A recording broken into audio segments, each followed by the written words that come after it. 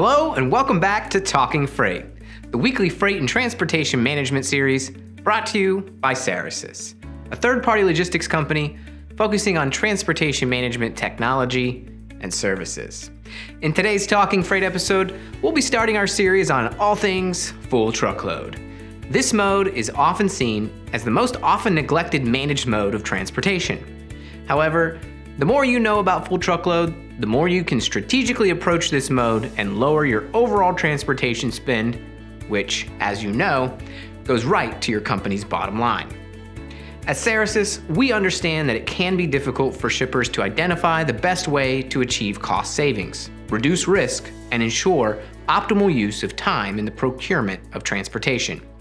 Much attention is devoted to the less than truckload, or LTL, shipping mode when it comes to rooting out inefficiencies and costs as well as best practice education.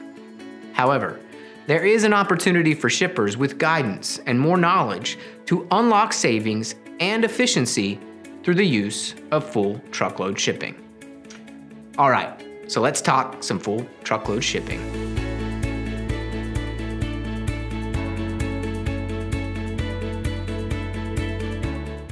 First, let's go about defining full truckload shipping. As we head into a series of full truckload shipping, let's make sure we're all on the same page.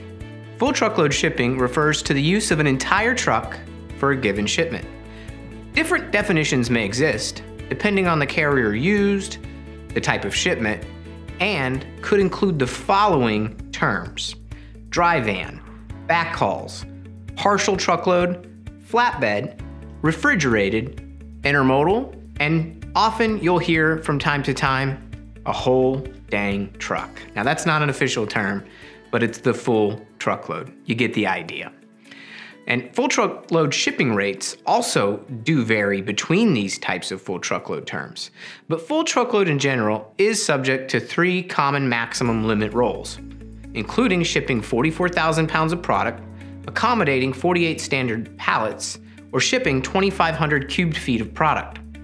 Additionally, full truckload shipments are often viewed as the best option when freight weighs more than 15,000 pounds or requires more space than 10 pallets.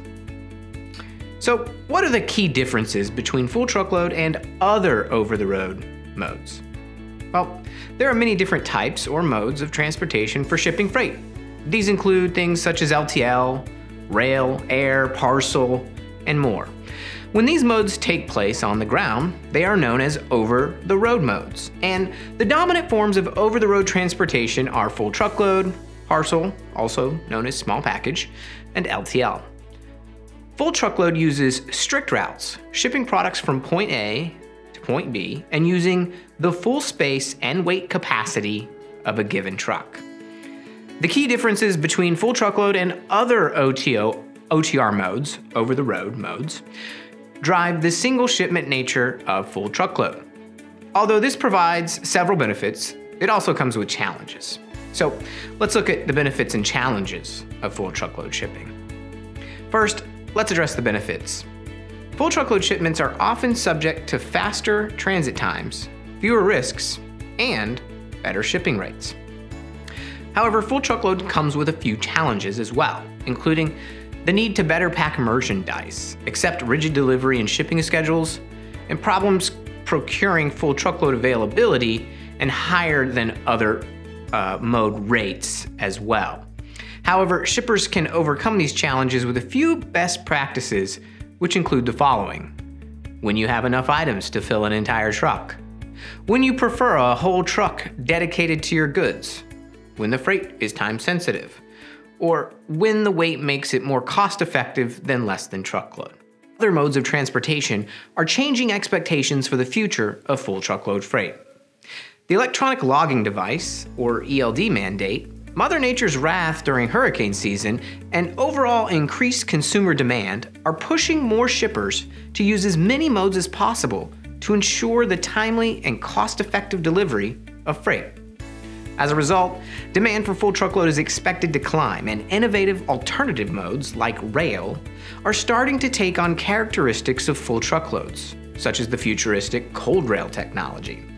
Moreover, more shippers will seek to use freight consolidation to tap into the resources of full truckload freight. Full truckload represents an opportunity and vulnerability in the U.S. transportation network, but shippers who take the time to understand the facts and predictions surrounding full truckload can position their enterprises to overcome issues within the capacity crunch, rising rates, or anything else that may occur in the industry. Therefore, Cerasis has chosen to devote this intense series of videos to full truckload and its implications for shippers seeking to operate within tight profit margins. Well, that's it for this week's episode of Talking Freight. Have any questions about full truckload that we can answer? Go ahead and put those in the comments below and we'll answer with our expertise. And if you've enjoyed this video, don't forget to hit subscribe and the little bell icon as well so you uh, are notified each time we publish a video every Friday. And as always, don't forget to like us here on social media. We're constantly sharing great industry information. And lastly, if you'd like to get these videos emailed directly to you, well, you can sign up and receive our blog posts as well by going to cerasis.com and when this box shows up like it does here at the bottom of this screen, put in your email and you're subscribed. That's it for us. Have a great weekend.